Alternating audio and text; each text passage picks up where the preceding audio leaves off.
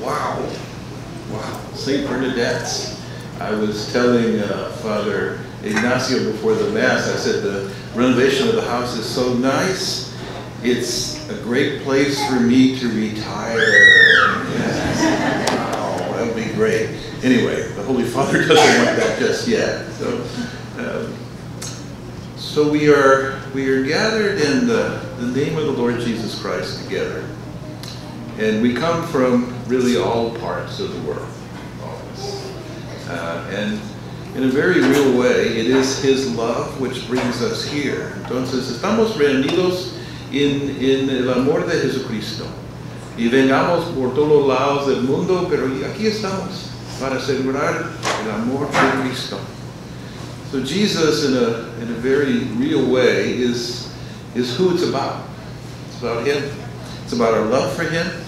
It's about us sharing in our love for Him and it's about, in a very real way, us becoming one with Him. Es un día de Jesucristo en realidad. Un día en que recordamos que tenemos parte con Él en su vida. Y con Él tenemos la vida y la promesa de vida eterna. So the promise that we have, each of us, is really spoken in the Word of God. And we first heard in the, the prophet Ezekiel that the Lord would literally take somebody that you can almost image a skeleton, and as he places flesh on that person, that he also breathes his spirit into the body of the person. Now that's meant to represent us and God's love creating us. God's love helping us to, to really come to life. Entonces, en el profeta Ezequiel uh, recordamos que Dios es nuestro creador y con Dios tenemos nuestras vidas y por la respiración de Dios tenemos el Espíritu de Dios en cada uno de nosotros. And so, Jesus, in a very special way, is the sign of God's love for us. And that's why St. Paul to the Romans, in his letter today to the Romans, uh, speaks to us about the Spirit, and it's a Spirit calling us out of darkness into light. The Spirit that calls us to really have our lives focused on what matters and that is the resurrection. That's the resurrection. Uh, while there is cro- the cross in our lives, it's about the resurrection. So San Pablo en su libro de, de los Romanos nos recuerda que, que en realidad uh, Jesucristo es el símbolo para nosotros del amor de Dios y Él nos ha dado su espíritu Y ese es un espíritu de la resurrección. Y en cada cosa en nuestras vidas, la resurrección es la cosa más importante. So we pray in a very special way that we have a special awareness this morning of the resurrection of Jesus. That no matter what's going on in our lives, it's about the spirit of the resurrection. So no matter what's taking place in our marriages or in our families or in our work, whatever it may be, it's really about the resurrection and Jesus sharing his love for us in that way, to rise from the dead. And so, uh, recordamos por las palabras de San Pablo que en realidad es la resurrección que es central en nuestras vidas. Entonces, de cualquier cosa que está pasando en nuestras vidas o cualquier cosa que está pasando en nuestros matrimonios o en nuestro trabajo, en realidad es sobre Cristo. Y tenemos, tenemos que tener nuestros ojos en Él, en la resurrección de Él. And so that brings us to the gospel, which also speaks to us about the resurrection. And Lazarus being raised from the dead by Jesus was cherished so much by the church of St. John especially that they recorded it for us to be proclaimed this morning.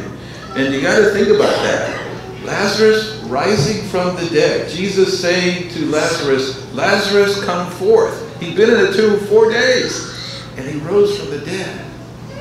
That is a powerful promise that God gives to each of us of faith. Nos recordamos en el Evangelio de San Juan eh, la historia de Lázaro, cuando Cristo uh, dijo que Lázaro, véngase del tumba. Y, y, era un momento de la resurrección, un símbolo de la resurrección, la promesa para cada uno de nosotros. And so in a very real way, it's about the spirit of the resurrection for us. Jesus loving us in that way, Jesus giving us the promise of rising from the dead. And that's really what our baptisms have been about. As we are baptized in Christ Jesus, we are baptized into his death, that as we rise out of the water, we rise with him to new life. That's. Entonces, en, en las palabras de Cristo, cada uno de nosotros que, que morimos en el bautismo, también tenemos un momento de la resurrección. Cuando salgamos del agua, tenemos un momento de la promesa para cada uno de nosotros que vamos a resucitar con Él. So in a very real way, that's the promise. That's the promise. And you can imagine Lazarus sitting down for dinner with Jesus, Martha, and Mary, and the other disciples. He was dead. They knew he was dead. And here they're eating dinner with him. In many ways, that's what we're doing now. Jesus, who died on the cross for us, and now is risen from the dead, shares with us in a very real way himself. Crucified for us, but risen from the dead for us.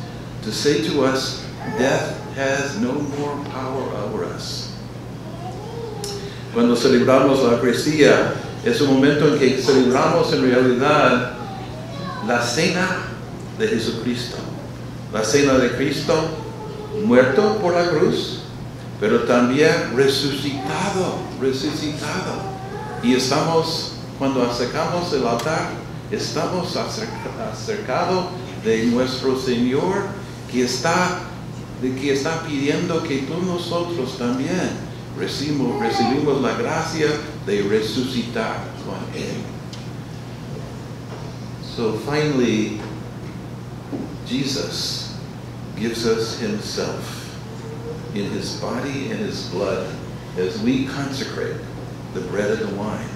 And so when we approach the altar, that's a moment for us to share in the body and blood of Jesus, and it is the body and blood that becomes one with our body and blood.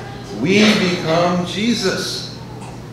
Jesus crucified, yes, but Jesus also risen from the dead.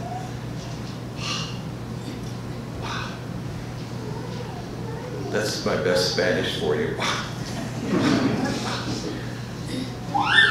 Cuando recibimos ese Cristo en la comunión, es un momento en que no solamente encontramos Él, pero Él será parte de nuestro cuerpo, parte de nuestra vida, parte de nuestro espíritu. Es un momento en que encontramos a Jesucristo crucificado, pero también resucitado. Entonces, seamos desde el momento de recibirlo como gente de la resurrección, gente de Jesucristo. So as we receive his body and his blood, we are transformed into people of the resurrection. That's us. That's us. Let's pray for that grace during this Eucharist. Rezamos para esta gracia durante esta Eucaristía. Amen.